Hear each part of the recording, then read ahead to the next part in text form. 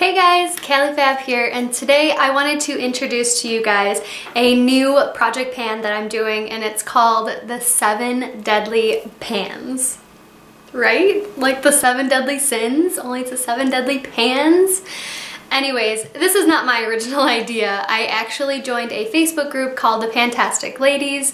Um, I will leave that link down below if you guys are looking to join. And somebody suggested doing the seven deadly sins but do like pans. So like do a product for each of the sin, right? I thought it was a really cute idea and I loved it. And I did like a whole report when I was in high school on the seven deadly sins and like what they represent and what they mean to different people in different like lifestyles and stuff. It was really, really a cool project. So I only have seven products in this um, project pan. This project pan was technically supposed to be from December 7th, 2017 through July 7th of 2018. But since I got a late start because life has been crazy and hectic lately, I am making this from January 7th, 2017 and still ending in July 7th, 2018. So I'm really, really excited to show you guys the products that I picked out and I'm actually wearing some of them today so you guys can kind of get a little sneak peek. And I can't remember who it was, but I was watching a Project Panner and she actually uses a food scale and weighs her products. So I figured I would do that because some of these I can't really tell if I'm making progress or not. So I have my trusty bamboo food scale here. It's super easy to use. Oh, I turned it on actually. Um, but it's super easy to use. I actually got it from Target for like $28 and it just looks clean and nice and fresh and I actually use it for my food too but um, I figured I would use it to weigh my products so that you guys could see how much progress I'm actually making versus what it like just looks like, if that makes sense. Let's get started. So to start off, the seven deadly sins are lust, envy, vanity, or pride. You can use either one. Um, wrath, sloth, gluttony, and greed. I picked out a product to use for each one. If I'm looking down, that's because I'm looking at my notes. You guys know that. But let's get started. So the first one I chose was from Lust. So to me, lust is like sex, right? Like, like feeling sexy and just feeling good and, you know, lusting on someone and whatever. Anyways, to me, I actually picked two products to go in this category. So I picked a shave cream. I know, right? Whatever but is the Pure Silk Rich and Lustrous Shave Cream in Kiwi Berry Bliss. So basically, I've had this in my shower for like a year and it's kind of getting gross and it's full. Like it's literally completely full. I never use shave cream. I always just use my body wash. So I want to use this up so it doesn't go bad and it, you know, I purchased it and it was probably like two or three bucks when I purchased it. So I want to use it up. And having shaved legs and like armpits and stuff makes me feel more sexy because then my skin's nice and soft, right? Anyways, and I also chose a lotion and this is the Burt's Bees fragrance-free body lotion with shea butter and vitamin E for all skin types. This is, I will mark it, but it's about here on the bottle, but I did weigh these products together as one because I'm using this as one. So basically I plan to use the shave cream and then lotion all over to make my skin feel really soft and sexy and touchable for lust. I'm really excited about it. I thought it was a cute idea. But Anyways, so the two products together are 510 grams. So I put everything in grams just because some of the things were so light that doing them in pounds just doesn't make sense. So I did everything in grams just to keep it kind of consistent throughout.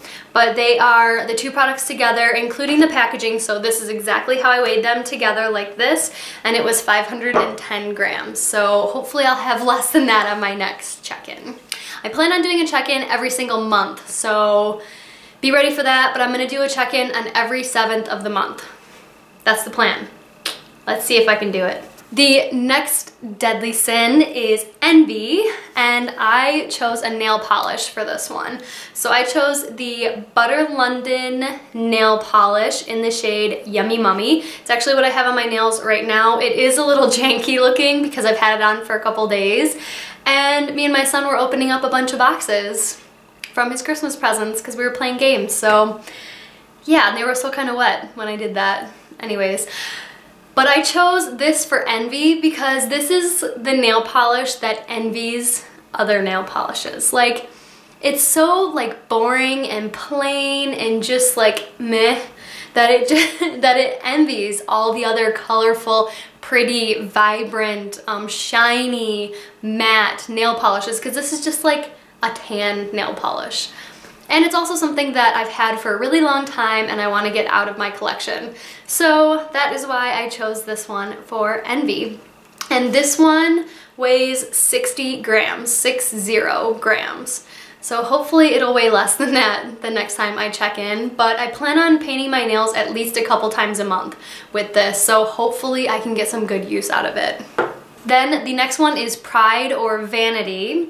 And I chose something that makes me feel beautiful. And that is my little sample of the Balm Voyage, or Voyage, I like to say, in Karikabaka. I, God, I can never remember how to say this. I looked it up at one point and I don't remember now. It's Ku Kuwakarabishka yeah, that's my best. That's my best job there. I do have it on as my highlight today and I'll give you a swatch of it as well. It is so stunning. Like, I love this highlight. I wish it came in a full size on its own. Like, I like this more than the Mary-Lou Manizer just because the Mary-Lou Manizer is more of a like champagne color. This is more of a yellow gold. And for some reason on my skin, I just feel like it looks really, really flattering on my skin. Yeah, I just have this little sample. I do have a full-size palette that has this in there, which is why I want to use up the sample. See what I'm see what I'm doing there? And this little sample weighs nine grams. So I did weigh it in the whole packaging. I did not depot it. So I plan on continuing to weigh it in the packaging because I don't plan on depotting this at all. So nine grams for this and I hopefully using it as an eyeshadow and a highlighter, I want to use this completely up.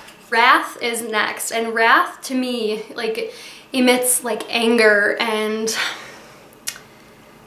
fire and you know?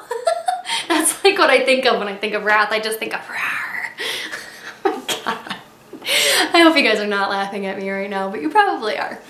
Anyways so for wrath I thought of like spiky and like flames and fire and pokes and I don't know. So I thought of a liquid eyeliner because whenever I use a liquid eyeliner, I always do a cat eye or like a flame eye, right? Because it's like a flame.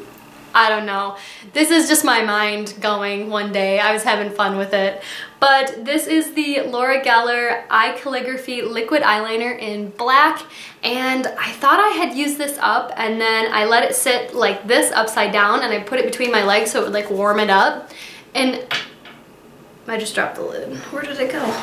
That's another thing about this, the lid does not stay on and I have so many issues with the lid falling off of here and driving me crazy, which is why I want to use this up. So my plan is, is if I end up using up this liquid eyeliner, I want to put another liquid eyeliner in its place. So right now, this liquid eyeliner with all the packaging weighs nine grams. So I'm hoping to use it up and I plan to use it up until it dries out. So if I end up using up this liquid eyeliner completely, I plan on putting another one in its place to finish out this project. So hopefully I can get two of them done with the conclusion of this, but we'll see how I do. Then the next one I have is sloth. So sloth to me just means like slow, lazy, um, just relaxed more than anything. Almost like enjoyable because you get to slow it down and just enjoy around you, enjoy your surroundings and enjoy what you have. So the product that I chose for Sloth is this Neutrogena Moisture Smooth Color Stick. I got this in an Ipsy bag and I love this product. It is the lipstick that I have on today. Here is how much I have in here. This is just a little sample size. This is not the full size of the item but there is the sample size that I have left. I use this often, but I chose it for Sloth because it's kind of like my lazy lipstick. That's what I call it. I call it my lazy lipstick because it gives me nice color and really good coverage on my lips, but I can put it on without a mirror, I can put it on at work, I can put it on and not feel like it's smudging all over. It looks good every time I wear it. It's my lazy lipstick, so I can wear it and have lipstick essentially on my lips without having the hassle of the bleeding of the lipstick and having to put a lip liner on and all that crazy stuff.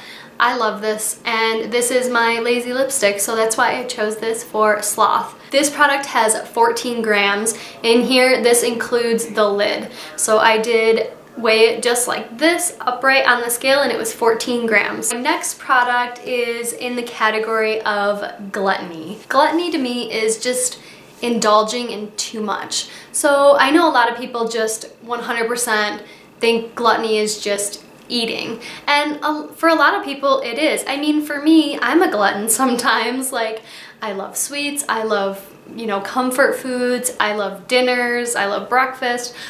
But to me personally, gluttony just means the overindulgence, the over-consumerism, the taking in too much and not giving back enough. So I chose a palette for this one. I don't know. Maybe it was dumb decision to, to choose a palette. Anyways, so for Gluttony, I chose a full eyeshadow palette. And I know that might seem a bit much, but that is overindulgence. That's choosing more than I know I can handle. So I chose a palette for two reasons. So for the first reason, I chose the palette because it's an overindulgence. It's too much product. But the second reason is I chose the Real Her eyeshadow palette in Do Your Squats. so I thought this was so funny the fact that it's called do your squats because when you overindulge and you overeat, you gotta go work out too. So I just, I, I had so much fun choosing these. So this is what the palette looks like. It's very, very neutral. It is the base color I have on my eyes today.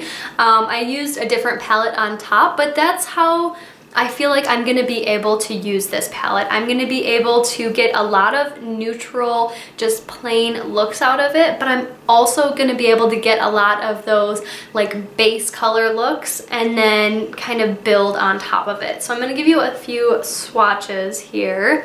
That's like one of the shimmer colors. This is the color that I have in my crease. It's like a brown cranberry color. So these are the three colors that I swatched and honestly I don't think these colors are gonna be hard to use. I don't think I'm gonna hit pan on all these colors. I don't think there's any way, but I'm gonna really try my best to hit pan on two shades. So that's gonna be my goal, two shades to hit pan on in here. And if I work really hard, I think I can do it, but we'll see how this goes.